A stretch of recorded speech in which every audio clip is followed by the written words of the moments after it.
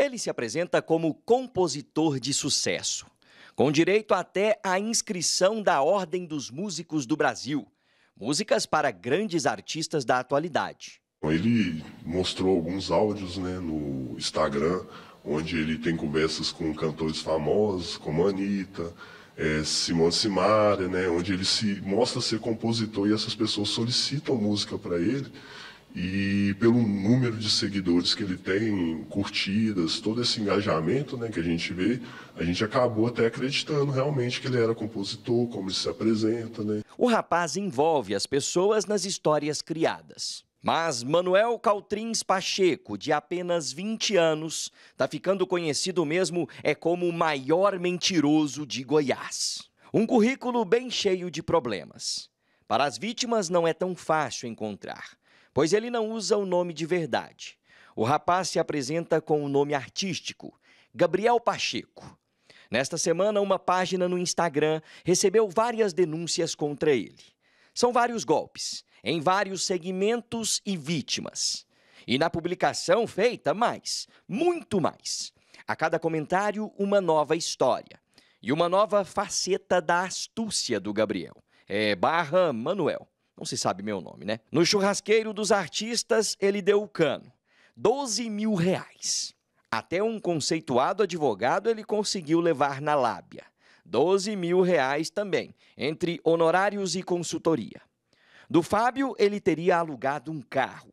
Além de não pagar, tomou várias multas e estragou o veículo. Quando a gente foi olhar o Pix de pagamento, estava no nome de uma ex-presidiária, que é a irmã dele. A gente já ficou meio cabreiro com ele, né? E aí, por nossa sorte, o azar, né? O motor do carro fundiu, a gente mandou o guincho buscar e só foi chegando multa. Multa em cima de multa chegando aqui dele. A gente foi atrás dele, mas é, ele sumiu, bloqueou e a gente não conseguiu falar mais com ele. E tome mais comentários sobre as peripécias do rapaz. Aqui ele teria ido até a boate. Conta de mais de 400 reais. Na hora de pagar a mesma jogada. No final ele fugiu.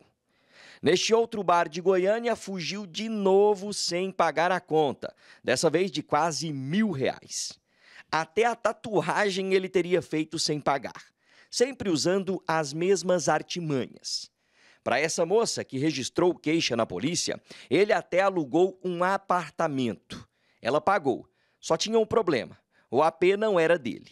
Eu estava à procura de um apartamento para alugar.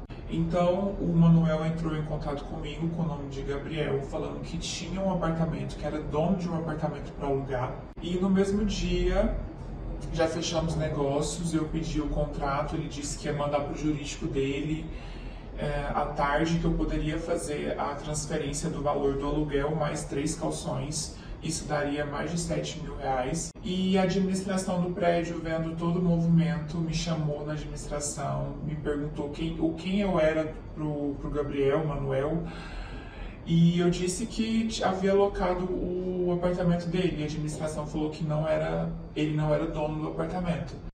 Alguns casos já estão sendo investigados pela polícia, como neste registro, onde Manuel tomou posse dos dados de um primo dele para comprar coisas, pegar empréstimos e alugar imóveis.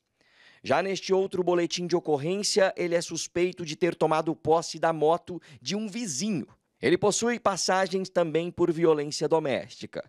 Uma busca simples mostra isso. A irmã e o pai dele também possuem passagens, mas a mãe dele não. Ela, inclusive, é contra a vida que ele leva, como demonstrou nestas publicações. Porque já tem mais de uma semana que eu estou pedindo ele para estender essas roupas. Tem umas roupas dele aqui para ele estender. Ele não estende. E tá aqui, ó, no tanque já tem quase um mês isso aqui, ó. Isso aqui é o quarto dele, ó. Isso aqui é as roupinhas novas que ele comprou, mas tá aqui. A situação do quarto. E diz ele que é o compositor. Dois anos atrás, ele já foi alvo de investigação da Polícia Civil. Na época, ele era suspeito de usar nomes de artistas, como Gustavo Lima, Rodolfo, da dupla com Israel, e até Pétala, ex-mulher do mega produtor Marquinhos da Audio Mix, para ganhar confiança de pessoas e aplicar golpes. Neste período, ele se dizia sócio de uma empresa de marketing digital. Com esta vítima, um corretor de imóveis de Goiânia, ele conseguiu até comprar um lote comercial no valor de 650 mil reais. No Pix, com comprovante e tudo. Falso, é claro. E saiu até tirando foto comemorando o fechamento do negócio. Depois mostrou esse comprovante que indica que ele teria mais de 4 milhões de reais na conta pessoal. Note que o nome na conta é o artístico que ele inventou. Como ele foi lá na grande incorporadora, fez esse Pix e deu tudo certo lá, ele adquiriu essa confiança, né? veio até a imobiliária onde eu, eu trabalho atualmente. E, e aqui a gente estava apresentando para ele um negócio fora desse contexto do carro e surgiu o assunto que o dono queria, o dono da imobiliária queria vender o carro. E ele se interessou pelo carro, foi lá, viu o carro, falou, não, quero ficar com esse carro e, e quis fechar negócio no carro também. Foi aí que ele desconfiou que se tratava de um golpista, que o Gabriel barra Manuel não era tão gente boa e bem sucedido. Conseguiram reaver as coisas. Ele tinha tentado até escriturar o lote. E na mala do carro, mais surpresa. Aí assim que eu peguei com ele a chave, com muito custo, ele né, não queria entregar, falando, não, vocês não confiam em mim e tal, nem quero carro mais. Eu abri o porta-mala para tirar as coisas dele, tinha três malas prontas lá para poder sumir no capinado. Por pouco ele não some. Por pouco ele não leva o carro e deixa um prejuízo de 190 mil. Estou tentando fazer uma videochamada, tentei ligar via, via telefone normal, serviço indisponível, estou tentando fazer uma videochamada, também não atende. É, a gente tentou falar com ele. E assim Manuel Caltrins Pacheco, ou Gabriel Pacheco, segue a vida. A maior parte das vítimas não registra ocorrência. Às vezes porque tem medo, ou porque acham que é muita dor de cabeça, ou mesmo porque conseguiram reaver o prejuízo no todo ou em parte. E todo golpista conta com isso para continuar no ramo. A Polícia Civil só toma conhecimento de um ato criminoso quando ele é comunicado.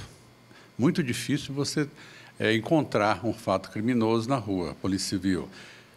A importância de registrar o fato através de um RAI é que você vai juntando é, fatos para você apurar. Quanto mais dados você tiver das vítimas, melhor fica para você investigar o crime.